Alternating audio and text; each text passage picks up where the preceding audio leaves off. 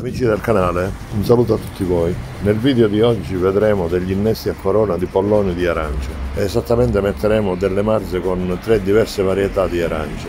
Metteremo il Washington, il Tarocco e il Valencia. Avremo così una produzione a scalare che va dal mese di novembre fino al mese di giugno.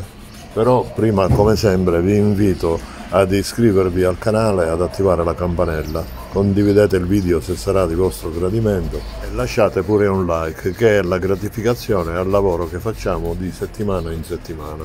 Grazie, buona visione. Come si può vedere questa pianta è stata capitozzata a seguito di un incendio e dal tronco sono venuti fuori questi tre succhioni che oggi noi andremo a innestare. Li ripuliamo con il coltello da innesti dalle parti sfrangiate e dopodiché andremo a fare dei tagli verticali di 5 cm nella corteccia che saranno l'alloggiamento delle nostre marze.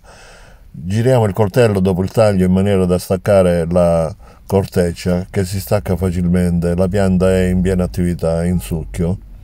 Quindi prepariamo il primo porta innesto e allo stesso modo prepareremo anche il secondo e il terzo porta innesto.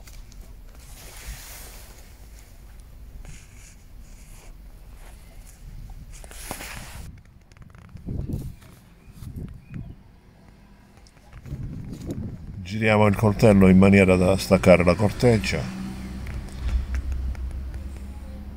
E prepariamo l'invito per le marze. Stessa cosa nel terzo porta innesto.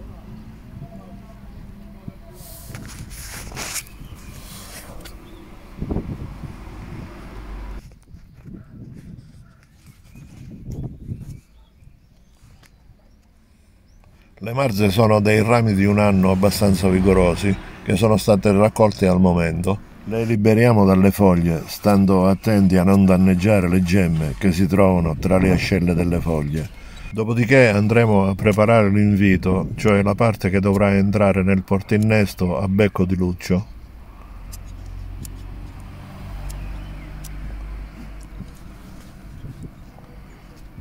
Ecco, continuiamo a ripulire dalle foglie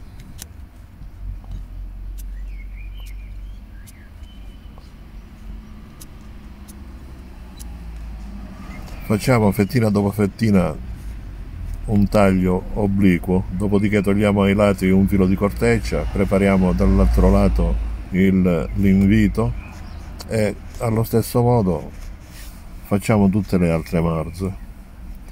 Togliamo un filo di corteccia prepariamo l'invito scortecciamo un po' di corteccia dietro e andiamo avanti così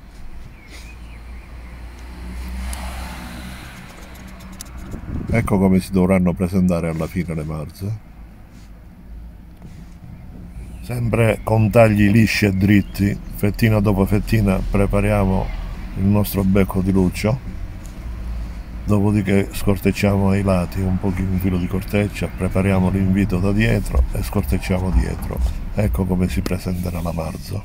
Dopodiché andiamo a infilarla nel porta innesto. Con la punta del coltello allarghiamo un po' la corteccia facciamo l'invito e la facciamo andare dentro. Come vedete anche con le mani entra perché la pianta è in attività vegetativa la corteccia si stacca facilmente. Facciamo anche una seconda marza. Sotto il taglio che abbiamo fatto nella corteccia del porta innesto come possiamo ben intuire, per tutta la circonferenza è tutto cambio. Di conseguenza se abbiamo fatto tagli dritti e lisci alle nostre marze, i due cambi dovrebbero andare a contatto. Ed a maggior ragione dopo che li stringiamo ben forte con il nostro filo elastico. Ecco qua facciamo un bel po' di giri dopodiché lo leghiamo. Le due marze dovranno risultare ben ferme strette al porta innesto.